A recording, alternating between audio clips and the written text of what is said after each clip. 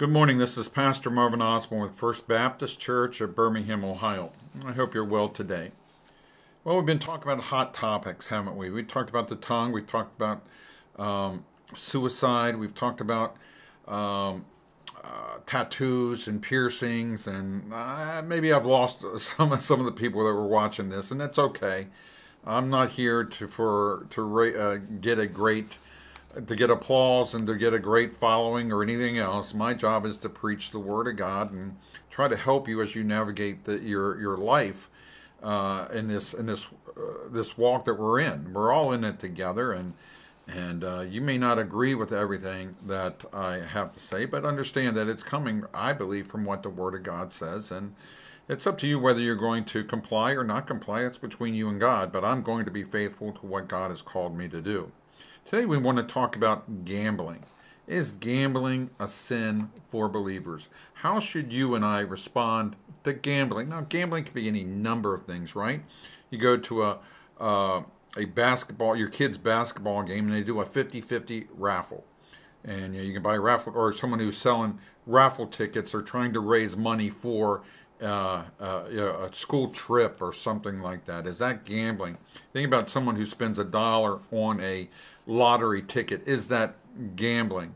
Is it is it wrong for a Christian to um, to go to a casino or or to gamble online or to go to the racetrack or any number of things? You know, you can uh, have uh, weekly poker games or different things like that. And is it forbidden in Scripture? And in truth, no, it's not. Uh, it does talk about stewardship. It does talk about financial accountability. We see Dr. Tony Evans said it this way. He said, risking money, uh, gambling is risking money in an attempt to multiply the money on something that is against the odds. And so, but most of life is that way, isn't it? You, even those who buy uh, stocks, I mean, they're they're hoping that that stocks the stocks go up, but in truth, they're not really sure, and they're hedging their bets and and they're watching and hoping that they don't lose money on the transition. But the Bible does not specifically condemn gambling.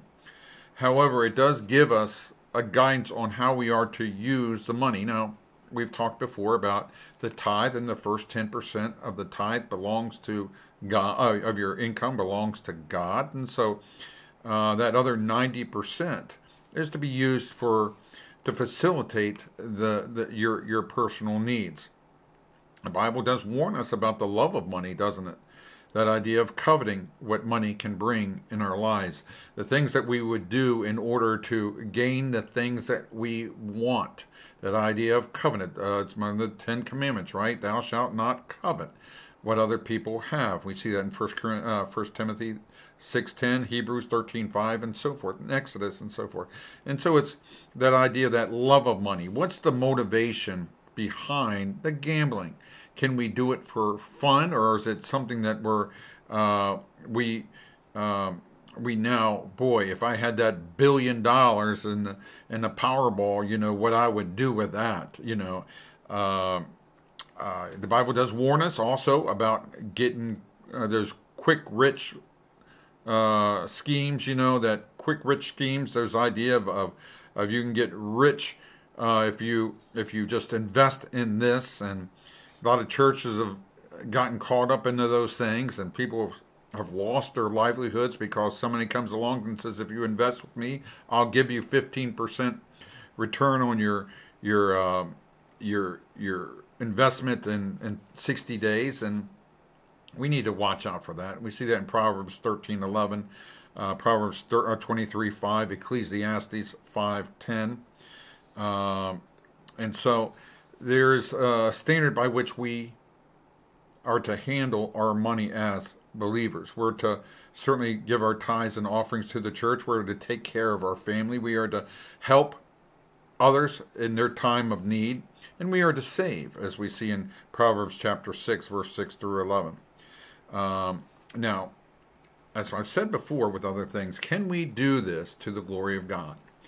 Um, can we can we buy a lottery to the uh, lottery ticket to the glory of God? Does it hurt our testimony for Jesus Christ? Would somebody be offended if they saw us buying a lottery ticket um, and so forth. And uh, and that's the things we have to measure those things by. Are you in sin if you buy the lottery ticket? No, you're not. Are you in sin if you have a um, a small poker game in your home and you're risking something that you you can afford to lose? Let's say um, you you normally take your uh, kids to um, uh, or you normally spend money on I don't know, something frivolous each week, and you instead of doing that, you're doing the poker game or whatever else, and you're just enjoying fun times with the boys. I'm not sure that's a sin as well, because the Bible doesn't specifically condemn those things. I think as as in all things, we need to watch because gambling becomes an addiction, doesn't it? Gambling can hurt our testimony for Jesus Christ. I certainly wouldn't have a casino night here at the church, right? That's not how we raise money here in the church. I wouldn't promote a poker game party at, um, you know, at someone's house. I certainly wouldn't do that. I wouldn't um, start selling 50-50 rattle, uh, raffle tickets in order for our kids to go to youth camp or anything like that because that's not how the church can, uh, is supposed to handle their finances. People are supposed to give their tithes and offerings, and that's how you handle your um, uh, you, how to handle a church finances and needs and so forth. Um, so, all in all, is gambling a sin? It is when it becomes abusive. It is when it uh, begins to offend other people. Maybe they they have an, a, a, gambling addiction. It is when you begin to risk uh, the monies that uh, you could, you should be using to provide for your family.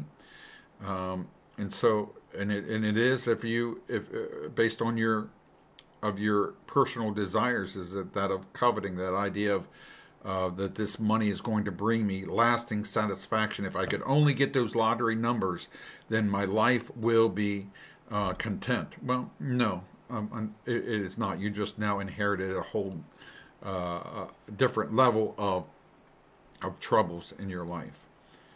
And so uh, it is really a personal decision between you, excuse me, and your and, and the Lord Jesus, and and you need to respond according to Him, and certainly watch your testimony. Again, as I said before, you know, just because you may be able to handle, uh,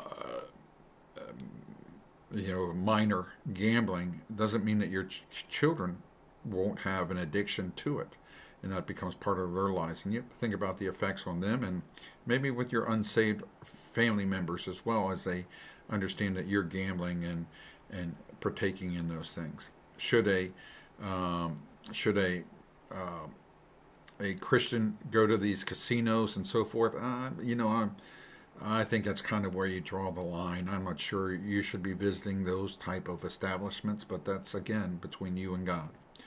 Uh, this is Pastor Marvin Osborne saying, God loves you, and I love you as well. And I'll talk to you soon.